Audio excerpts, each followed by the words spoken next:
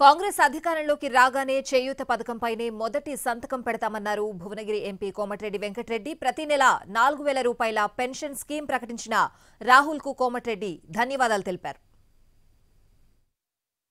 రెండు వందలు ఇచ్చే పెన్షన్ ఇచ్చే కాంగ్రెస్ పార్టీ కావాలా? రెండు వేలు ఇచ్చే టిఆర్ఎస్ కావాలా?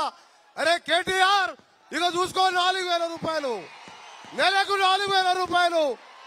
రేపు మొదటి నెలనే మొట్టమొదటి సంతకం నాలుగు వేల రూపాయల పెన్షన్ తోని ఇవాళ భారతదేశాన్ని భారత జాతిని ఏకం చేయడానికి భారత్ జోడో యాత్ర చేపట్టిన ప్రియతమ నాయకుడు మొదటిసారి విచ్చేసిన రాహుల్ గాంధీ గారికి స్వాగతం పలుకుతూ పార్టీలో జాయిన్ అవుతున్న పొంగులేటి శ్రీనివాస్ రెడ్డి గారికి అలాగే ఈరోజు సిఎల్పి నాయకులు భట్టి గారికి మీ అందరి పక్షాన స్వాగతం పలుకుతూ ఇలాంటి ఎన్నో సంక్షేమ కార్యక్రమాలు తీసుకొచ్చే మీ అందరు కూడా చెప్తున్నా తెలంగాణ ఇచ్చిన మాటి కాంగ్రెస్ పార్టీ